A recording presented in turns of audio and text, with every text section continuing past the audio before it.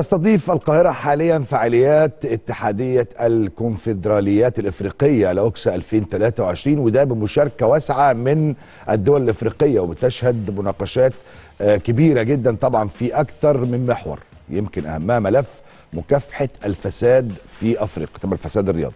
من خلال تشريعات قوية الفعاليات كانت شهدت حفل توزيع جوائز الرياضة الأفريقية وهيكون في معرض الرياضة الأفريقية الدولي والجمعية العمومية الانتخابية طبعا للاتح- للاتحاد الكونفدراليات الرياضية الأفريقية.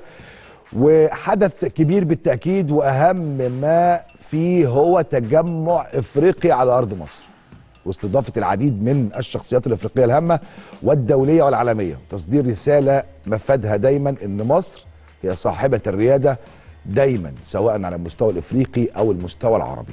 وده واقع عايشينه منذ سنوات طويلة. وحضراتكم عايشينه معانا. المؤتمر النهاردة خرج بعدة توصيات اللي بيستهدف من خلالها القضاء ومكافحة الفساد الرياضي في أفريقيا. وأبرز التوصيات دي هنستعرضها مع حضراتكم يعني سريعا كده. اولا إعلاء قيم الأخلاق والنزاهة والشفافية في المجتمع الرياضي الإفريقي. ضرورة التأكيد على أهمية الشفافية في كل القرارات الرياضية.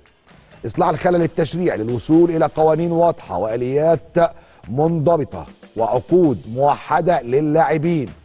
إصدار قوانين أو قانون يضم مواد التجريم والعقاب لمكافحة الفساد الإفريقي ويتصدر القانون تعريفا جامعا مانعا لجريمة الفساد ويعمم القانون ليوجد ليكون موحدا ويصدر في إطار اتفاقية دولية.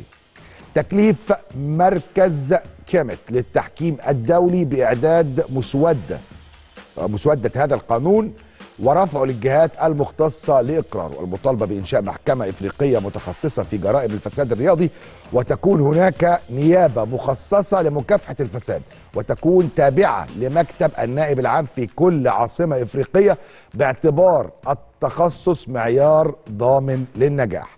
ضرورة مشاركة الجمعيات العمومية في القرارات التي يتم اتخاذها لضمان تنفيذها وعدم الالتفاف حولها في بند تاني. سرعة التحول الرقمي الحقيقي في الأندية والاتحادات والوزارات وخصوصا في النواحي المالية.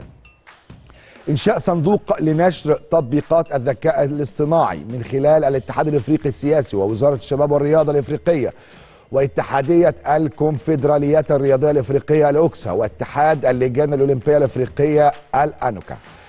تكليف الاتحاد الإفريقي للثقافة الرياضية بنشر بنشر فلسفة الإفصاح والنزاهة والشفافية والعمل الرشيد في الوسط الرياضي الإفريقي والحرص على توعية النشء ضد الفساد. الاهتمام بالتعليم والتثقيف باعتبارهما السبيل الأمثل لحماية البشر من الانحراف تجديد الرقابة المالية على الاتحادات والأندية ووضع قوانين حاسمة تحول دون أي انحراف مالي تحول دون أي انحراف مالي. تمكين المرأة من الممارسة الرياضية وإزالة أي معوقات تحول دون مشاركتها. دي توصيات مهمة جدا مهمة للغاية بصراحة. ولكن الأهم هو إيجاد آلية فعلية نقدر من خلالها إن إحنا ننفذ التوصيات دي وتكون توصيات حقيقية وليست ورقية. كل التوصيات دي بالفعل مطبقة هنا في مصر. في سيطرة كاملة على الأمور لكن المؤتمر كان آه، معني أكتر بأنه يطبق أو يتم تطبيق المعايير دي في كل الدول الإفريقية.